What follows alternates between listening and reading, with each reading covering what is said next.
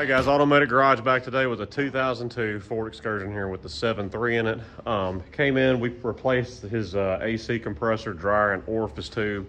Uh, I think it was last summer. Um, his complaint initially was it's not cooling good. Um, the clutch on the compressor was wore out, so we replaced all that, got it charged up. The front air is blowing absolutely ice cold air. On the back here, it will somewhat cool, not cool great on the rear AC. We don't have an actuator door problem or mode door problem or nothing like that for the rear controls back here. But uh, what we did notice is when you come back here to the back of the truck, let me turn you around. When the air was running, you would hear a lot of, it's almost a hissing sound like a, like you're taking your garden hose valve and just cracking it open a little bit like something had a restriction back here. Well, on the back of these excursions back here, you have what's called a thermostatic valve right there that get my light set up. This gold is a thermostatic valve. Here's the new one here, it's Motorcraft. And there's your part number, which this is not super common, but these do go out in the back, or can go out rather. But you can see here, it's a valve there. You can see it's got an orifice that's cracked open right there on the bottom. It's wide open on the top right here right now.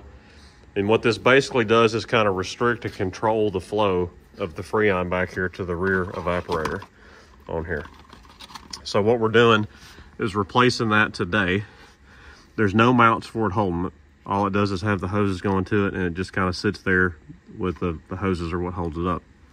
So I'm gonna show y'all how to break this loose tighten it back up, and then we're going to charge this AC back up, and we'll have some ice cold AC in the back of this Excursion here.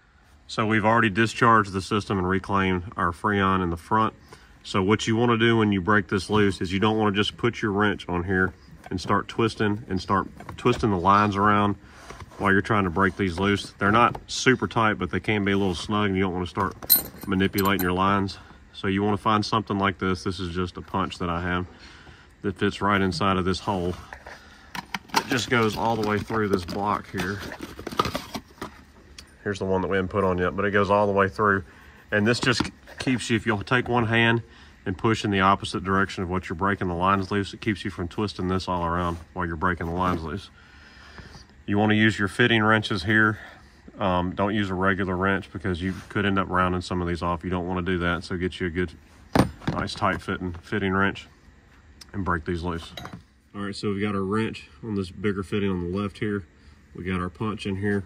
We're coming up to break it loose. So I'm gonna put my hand on this and kind of get a little bit of force down so I don't try to twist the block around. And break that loose. You can get all your fittings loose like that so you're not twisting anything around. All right, so we've got our lines loose and you are gonna have to take these two lines towards the back of the truck here and tweak them back just a little bit because you can see these lines fit down in the block a good little bit with O-rings on them down in there.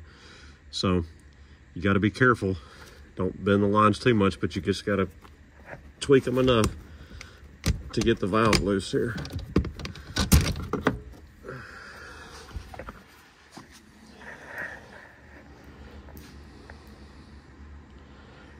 And there's our old valve there.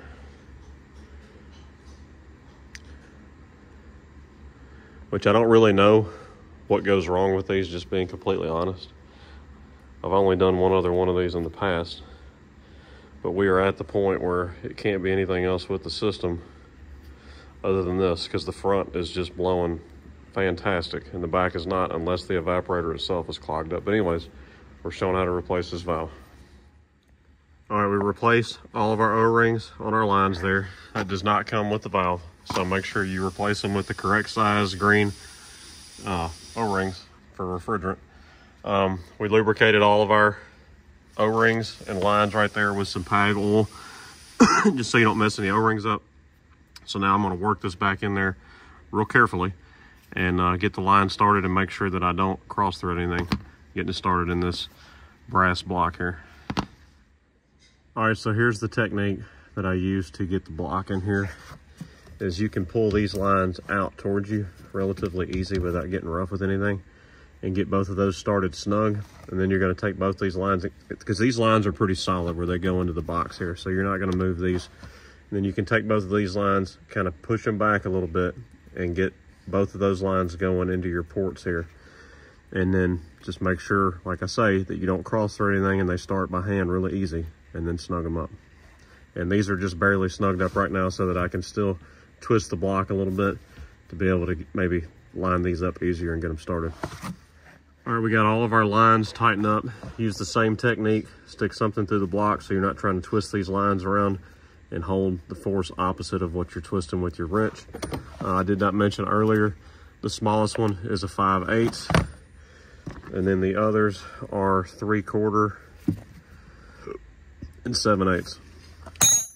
That's what takes care of your lines there. So now we're gonna go hook the gauges back up, pull a vacuum on the system, let it sit for a good 30 or 45 minutes, make sure we don't have no drop in vacuum to have a leak anywhere, and charge the system back up. All right, so we've charged the system up, and this is what our rear AC is blowing up about 42 degrees. Granted, it's only about 60 degrees today, so it's not real hot, but we had no cold air before in the back because of that thermostatic valve, so now we've got it straightened out and fixed. Just got to put the cover on, go drive it down the road, make sure everything's fine, and then uh, should be good here. All right, guys, so it's been about a week since we did that excursion, and I forgot all about shooting an ending for it or even having the video to put up here for y'all. But um, we just finished another excursion, made me think of that. But anyways, AC's blowing cold. Uh, we did some other work on the truck while he was here. He was really happy with how it drove. Um, we addressed some steering problems he was having. Um, I believe that was it. But anyways, that's the thermostatic valve. A lot of people don't know it's there.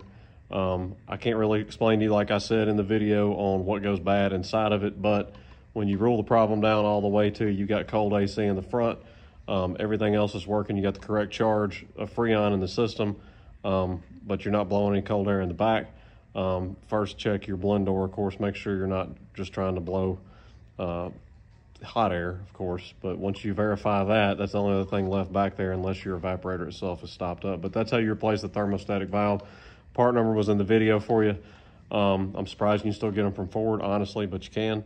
So uh, it's Automedic Garage signing out. We appreciate y'all watching. Go check out the other content on the channel here. Follow us at Facebook and Instagram and TikTok now. We're on TikTok. Uh, Lee got me to do that. He's doing a lot of the TikTok stuff, putting a lot of our own trucks and some of the unique low mile trucks that roll through here on TikTok. Also, we got merch on the website.